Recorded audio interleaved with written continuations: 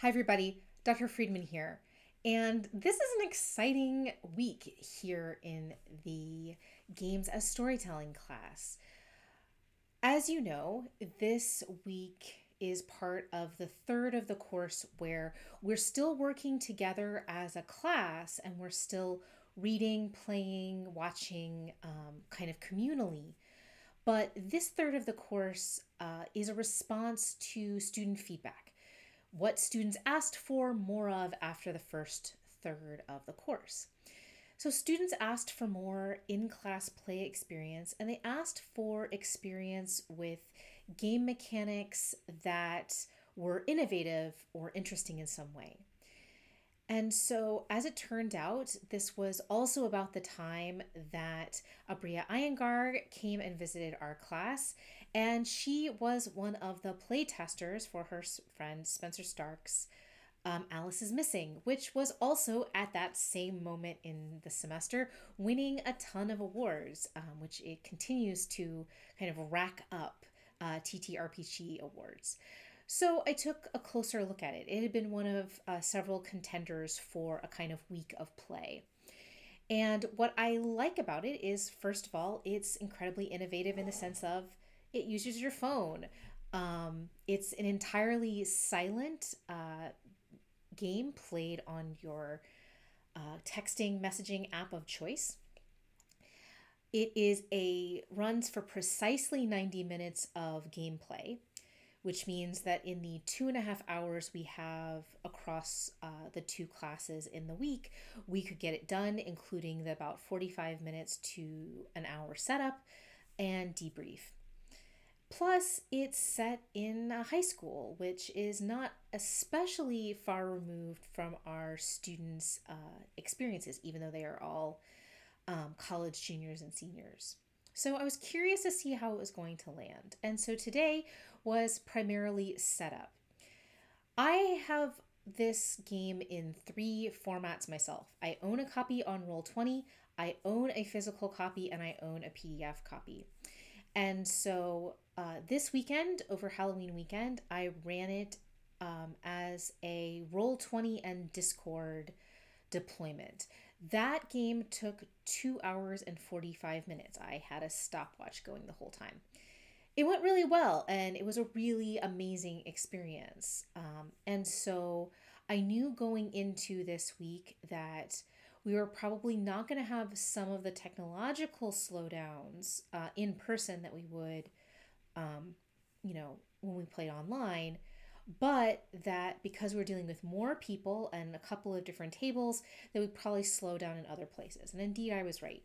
We took about 55 minutes to do the setup uh, for the game. And that was with me having come in 15 minutes before class and set up all of the tables with all of the kind of cards and things that are needed. So I had one physical copy of the game, and then I had printed out the printable versions of the game and kind of, you know, gone to the office copier and the big guillotine slicer. And um, I am totally intending to buy more copies of this game because I think it is one that inexpensive. It's about 21 bucks um, at the time of this recording, and it is that beautiful. And it doesn't take up a whole lot of space. Um, Alice is Missing is about a box this big.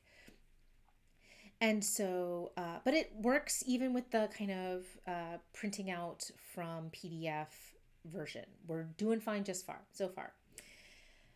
So we're running across uh, two days. We played 20 minutes of uh, the game today in terms of the actual 90 minute timer, which will give us about five minutes at the end of next class to check in, decompress, and listen to the voicemails. And recording voicemails was the thing I knew was going to take a fair amount of time. Um, we probably could have taken less time on that um, if folks hadn't actually also used it as the kind of designated bathroom break and things like that. Um, so that was also something that kind of pinched into time.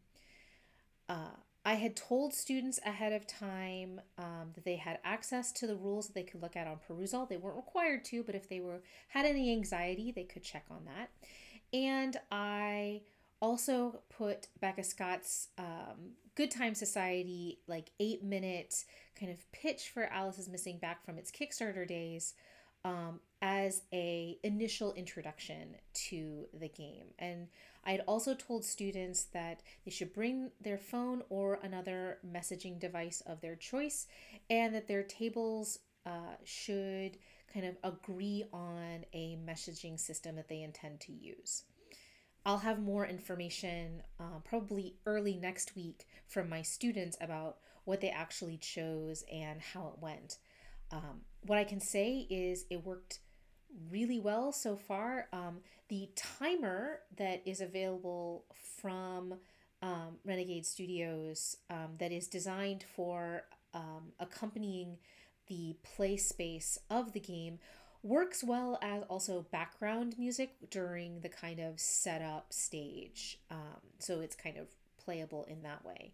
Um, it's incredibly evocative and just really adds a whole lot to the actual game time as well. Um, so, yeah, so I think it's going really well so far. It's got my brain worrying on the next iteration of this course, which, along with the announcement of the latest Dimension 20 uh, mini season set in college, um, we are now reaching a real critical mass of um, high profile actual play as well as a whole bunch of game systems that are touching on school related concepts. So, the depiction of education in tabletop role playing games, I think, is the way that I'm going to focus fire next time. But that's for later discussion. But that was something that was on my mind today um, as I was, you know, spending the last 20 minutes of class kind of just looking i mean because i wasn't playing i was there as the resource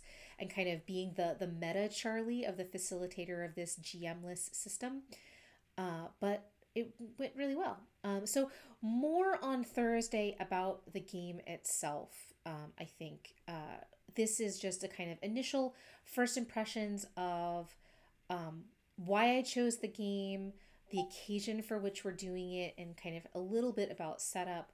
I'll talk more about details about Alice is Missing and how it works thematically and how it actually played in class uh, on Thursday. So until then, see you soon.